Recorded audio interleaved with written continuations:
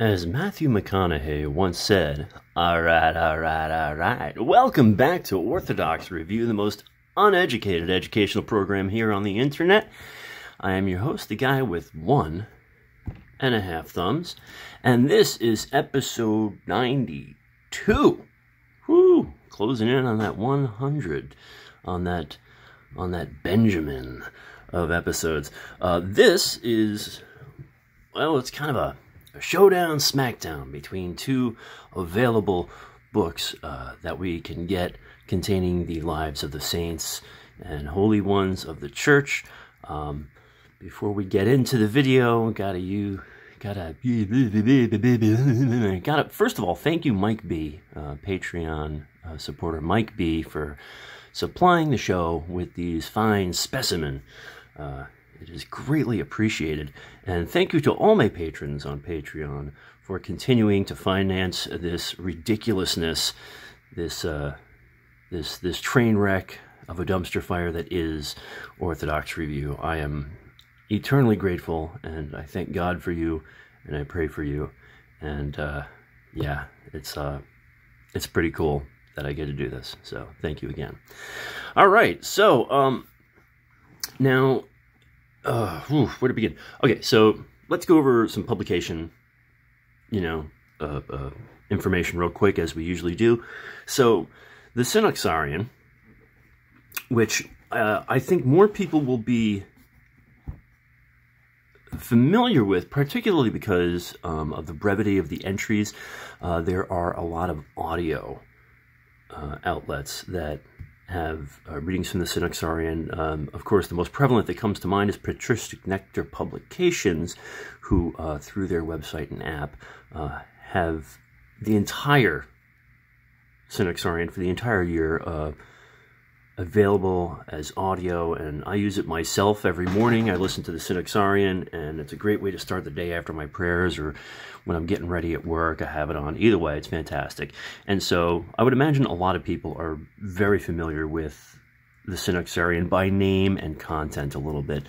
Um, now, uh, the Synaxarion, originally compiled by uh, Hieromonk Makarios of Simonos Petra, uh, written in French and translated from the French by Christopher uh, Hookway, Holy Convent of the Annunciation, uh, originally 1998, and is constantly updated. Uh, the most recent update was 2013 on I forget which volume, uh, and it's produced and published by uh, Sebastian Press, which is um, I tell you what, uh, in addition to the link for this particular volume, I highly recommend checking out their publications. They are just, just fantastic. Um, so, uh, the other, uh, the, the other contender in this battle uh, is the Great Collection of the Lives of the Saints.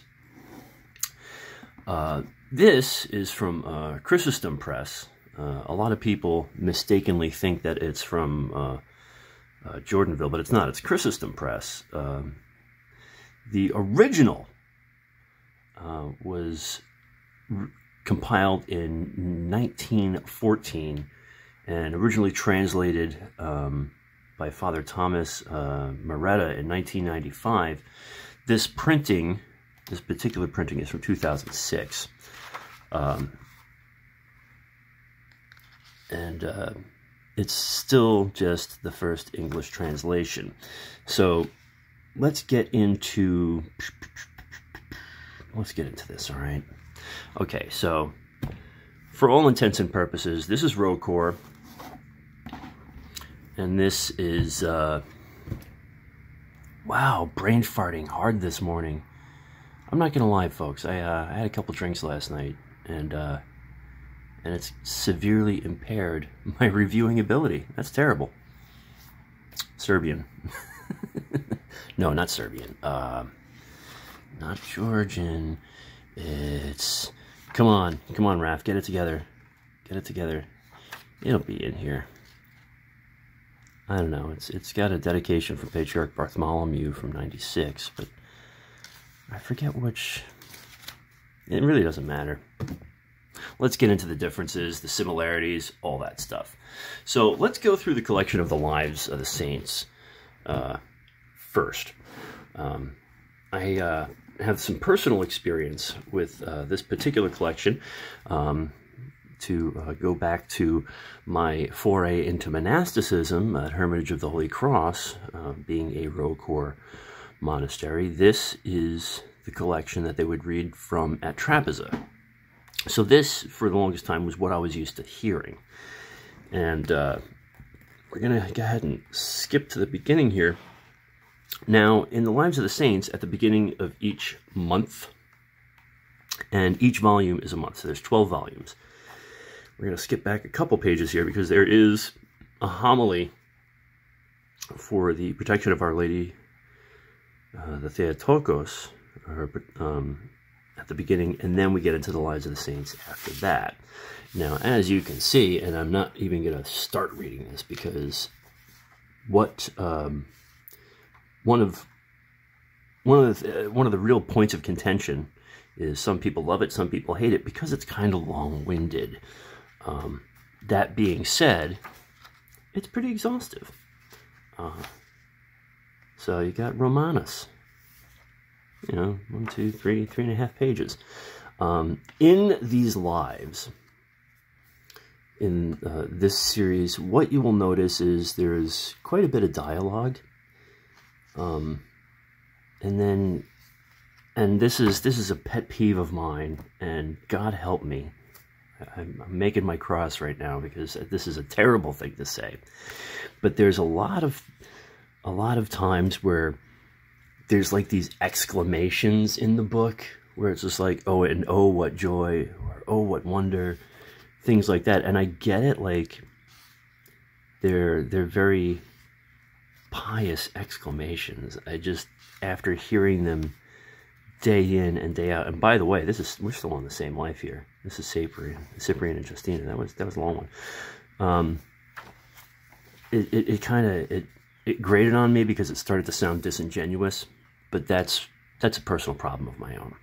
So the other uh, thing about the collection of the great lives of the saints is that to my knowledge and please please correct me if i'm wrong has never been updated so, as far as we know, the saints, or as far as I know, and again, correct me if I'm wrong, but the saints in the collection of the lives of saints uh, has not been updated since the original 1914, which means we've got over 100 years of saints that need to be slipped into these collections, uh, which would greatly expand the books, which I don't see as a bad thing. More saints, please. So, there it is, the collection of the lives of the saints. Now, Conversely, we have the Synaxarion, which is only a nine-volume collection. They uh, they truncate. Uh, see, this one is September and October, whereas this one was just October. So we're going to jump to October here. Um, and so here we have much more brief lives, uh, which I would say if, if you don't have a whole lot of time to sit down and read, this is probably going to be the one that you're going to want to go with simply because everything is so brief. Uh, you have uh, Ananias in two simple paragraphs, uh, St. Romanos eh, a little bit longer, a few paragraphs, but you also have interdispersed in this book uh, some nice graphics, uh, some icons. There's also uh, the, just the simple use of red ink, I think helps out. and so this is this is a much more brief, uh, brief uh, set of readings. And my, my, my personal uh, go-to on that one. Now, what I will say about uh, the Great Collection of the Lives of the Saints is you get a lot more detail about the saints. You, you get a closer look into their life, and, you know, if they were a martyr or whatever, you, you get a little more, you get a lot more detail into what their actual struggle was. So they both have their their strengths and weaknesses. Um, pretty much, uh, I would say, if you're looking for, you know, some deeper reading into their lives, go with uh, the Great Collection of the Lives of the Saints. If you're looking for just daily devotional use, um, the Synaxarion is probably the way to go. But the content is not all there is to a book. Let's go over the construction of each book, shall we? So, let's set the Synaxarion aside for a moment and look at the great collection of the Lives of the Saints. Now, uh, here we have cloth-bound board, sewn binding, and I know everyone hates when I do this. Oh, you should never do that to a book. It's a book review channel. I have to do it, okay? So let's, let's crack that spine a little bit. So, solid. Very good con construction. And like many books like this, uh, these are designed to take a whooping uh, because you're going to be using them year in and year out. Uh, I will say that there is a little a little bit of wear on the cardboard in there, but not not too terrible. Uh, the one thing I will say, is, and, and I will say this no matter what the publisher is, a lot of the times when you have this cloth-bound board, um, if there is any great uh, variance in the humidity and temperature, wherever you're keeping them, they're going to warp. I have so many books from so many different publishers that have warped a little bit. Um, and also it depends on the quality of the press. So beware. Um, and I think this is one of those situations where the Synaxarion takes the cake, and this is based completely off of my personal tastes is it is a faux leather. So it's Naugahyde, I would imagine. They cull those little Naugas running around in the chair factory and make these covers. So, um, Naga pressed board. Uh, the binding, about the same, but because of the material used for the cover, uh, just a little more malleable, but you'll also notice the same um, the same pull away in the same part of each book. Uh, but again, uh, the sewn binding, uh, sewn and glued, seems to be pretty solid, but we'll see what happens. Um, as, far, uh, as far as the layout and content of the book, let's just open it up to wherever it opens up to. Um, looking at the two together, the paper stock on the Synaxarion is a little smoother um, and comparatively, uh, the text to the size of the page is is good. Um, though I find the Lives of the Saints uh, to be a because it's just slightly larger and I'm slightly blind, uh, a much better, uh, easier to read. I do, for no other reason than aesthetic purposes, uh, like the size of the Synaxarion. Um,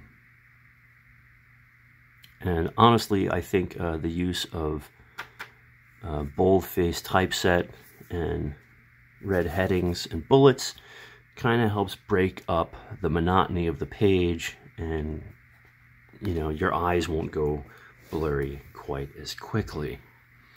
Um, price, price, price, price, price. The collection of the Synaxarion is going to run you a little under $300. Uh, the Great Collection of the Lives of the Saints is going to run you about the same. you, of course, can buy volumes individually. Links will be below. Yes. So, I don't know. We're going to have to put a poll up for this one. I mean, which one, um, after seeing this, do you think uh, wins? Uh, for you personally. I'm not saying, you know, there's, there's got to be a definitive winner, but um, which one would you go with? So comments below, if there's a way I can tag a poll in there, I'll do that. Maybe I'll make it a post, who knows. But anyway, so there it is. There's your uh, SmackDown Showdown. Uh, the great collection of the Lives of the Saints, the Synaxarion, both great, fantastic additions to your uh, personal library uh, for, for your edification. Uh, at any rate, on behalf of Spooky Cat and myself uh, and her mom, uh, blessed, blessed nativity to, to all of you coming up. And uh, I will continue to pray in what meager way I can. Please pray for me. And don't forget to go to church, say your prayers, and remember God. God bless.